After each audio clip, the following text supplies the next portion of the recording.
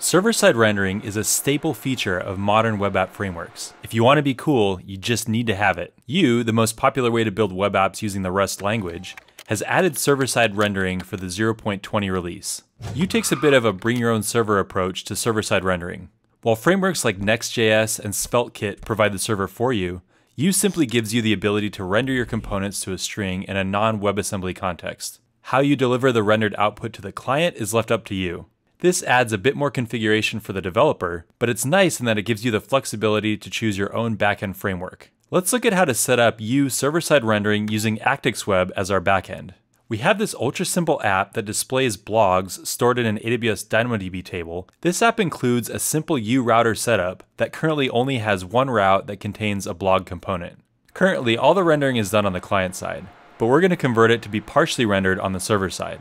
Now, if you watched previous videos, you'll be familiar with the project structure. We have a workspace that contains front end, back end, and common crates. We created a symbolic link in the backend directory to the dist directory of the front end crate, which is the front end build output. This allows our backend to serve the static front end files. The backend now needs to include Yew in its dependencies, so add it with the SSR and Tokio features. We're using the GitHub repo URL here. You'll likely want to specify a specific version instead.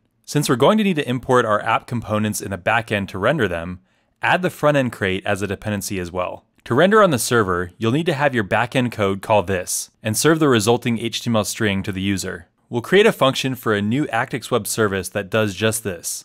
Decorate the function with the Actix get macro, specifying this pattern so that it matches all paths. We'll want to give the path to the Yew router so the Yew application can perform routing as it did before. Read the index.html file from the front-end build output into a string. We call unwrap here for brevity, in reality, you'd probably want to do some error handling. We'll be interpolating the rendered application into this HTML after we render it, similar to what you would do when rendering on the client side. The Yew router we use on the server side requires us to pass in the URL, so let's pass that in via some props. The root component of our app on the client side is called app, but we're going to create a new root component called server app in a minute that makes some small adjustments to be able to render in a non-WebAssembly environment. Its rendered output should be the same as the original app component. So we'll reference that new root component when we call serverRenderer.render, passing in the props that we just created. Then we'll return an HTTP response specifying text slash HTML for the content type. The body will be the index.html file we read from file with the rendered Yew app placed inside that.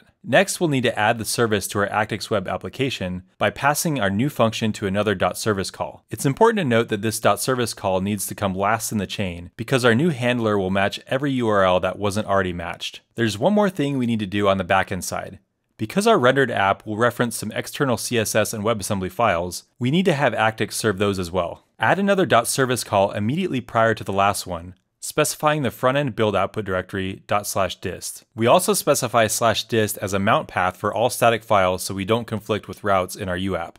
Now onto the changes we need to make on the front end side. In trunk.toml, we'll need to specify a public URL of slash dist so our app prefixes external file requests with slash dist. In cargo.toml, specify the CSR and hydration features for Yew.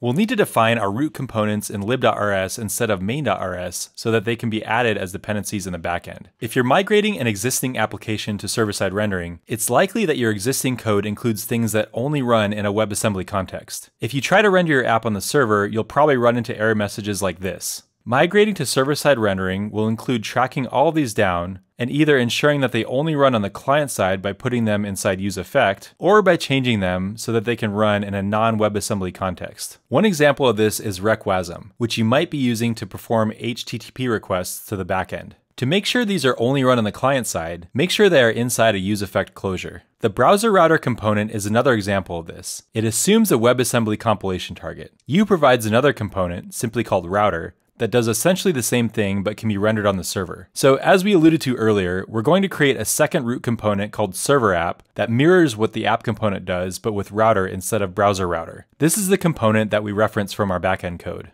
Now back to the front end main function. In a purely client-side rendered Yew app, you simply call something like this or this in your main function. Since now rendering will initially be done on the server, instead of invoking .render, you'll invoke .hydrate. This will render anything remaining on the client side.